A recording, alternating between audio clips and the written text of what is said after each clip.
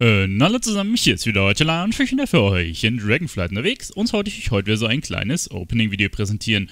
Heute geht es mal wieder um den Grid Vault und zwar möchten wir dieses Mal gleich zwei Kisten öffnen. Ich habe nämlich ein bisschen was auf dem Main gemacht, aber auch auf einem Twink und ja, ich würde sagen, wir schauen uns aber als erstes den Main an. Und ja, was habe ich da gemacht? Wieder das typische, ein bisschen M+. Ich bin ja ha hauptsächlich aktuell am... Ähm, ähm, ja, Kollekten, Sachen am Ruffarmen, unter anderem bei den Twinks. Deswegen gucke ich, dass ich aktuell so das Mindestmaß an äh, M Plus mache mit meinem Twink. Und das sind halt vier Keys. Ne? Also vier Keys kann man easy in der Woche mit einstreuen. Das habe ich auch letzte Woche gemacht. Und achso, bevor wir den Vault aufmachen, ich kann euch mal den Gearstand zeigen, den ich aktuell habe. Äh, 402 im Schnitt. Und was halt noch ganz nice wäre, äh, wären hier Schultern, eine Brust, da habe ich halt echt noch Scheißsachen an.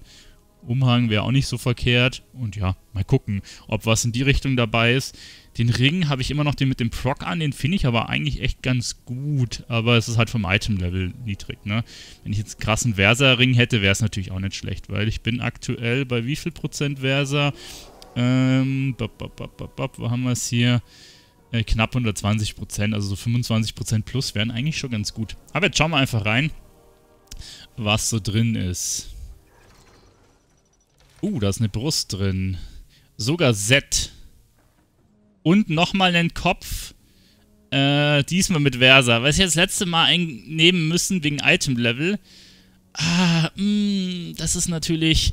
Ah, ich hätte noch einen höheren Key spielen sollen. Ich hatte noch einen 18er, den hätte ich mal machen sollen. Ich dachte auch beim 17er kriege ich schon äh, 418 raus. Irgendwie habe ich mich da anscheinend verguckt. Gut, da ist jetzt auch nur ein 415er Item drin, aber es ist halt Z uh, aber es hat kein Versa. Mm, aber meine, eine andere Brust hat auch kein Versa gehabt, also ist nicht so wild. Jetzt bin ich aber fast am überlegen, also ich nehme die auf jeden Fall, ne? Es ist ein No-Brainer, dass ich jetzt die Brust nehme. Eben gesagt, ich brauche eine Brust, jetzt habe ich sogar die Z-Brust gekriegt, easy. Und wir kriegen einen 16er Key?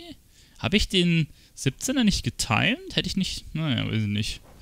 Eigentlich hätte ich, hätte ich doch einen 17er dann kriegen müssen, oder? Wenn er getimed ist, ich dachte schon. Scheint nicht. Gut, das ist auf jeden Fall nochmal ein ordentlicher Push vom Item-Level. Jetzt sind wir auf 404.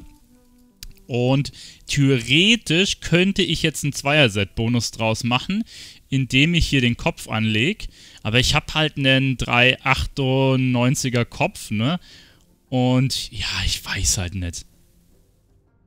Der ist halt schon einiges an Item-Level niedriger. Der hat zwar in dem Fall Versa drauf, und dann verliere ich halt richtig viele Stats, ne? Allein Ausdauer verliere ich halt einen Haufen. Ah, hm. Muss ich mal überlegen, weil der Set-Bonus ist ehrlich gesagt nicht so stark. Ich glaube, ich werde eher mal so spielen.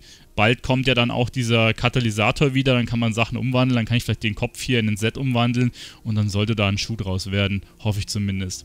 Was ich jetzt auch noch holen kann die Woche, ist tatsächlich ähm, ein Crafted Item. Ich könnte jetzt theoretisch hergehen und die Schultern auf 405 zumindest craften. Ich habe hier einige von den kleinen Teilen ne, auf 405.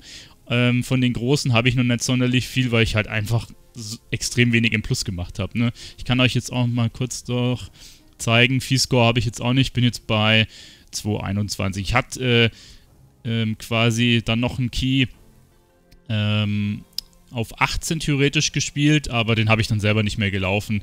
Hab's mir überlegt, aber ich dachte mir, nee, ich bleib bei den vier Keys und gut ist. Genau, also score-technisch ist da noch ein Haufen Luft nach oben.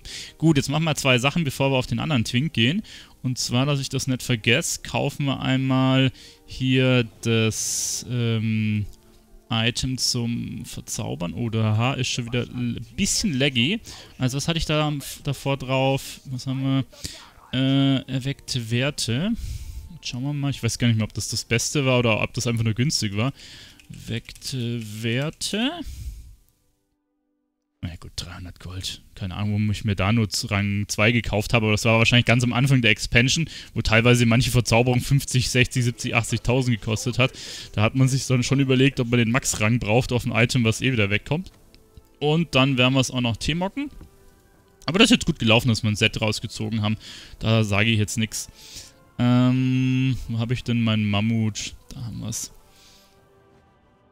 Zu, zu viel Stuff habe ich hier, ich sag's euch. So, okay, dann ist der erstmal wieder verarztet, der Char. Hier noch eine VZ drauf machen, merke ich gerade. Aber das mache ich dann nachher.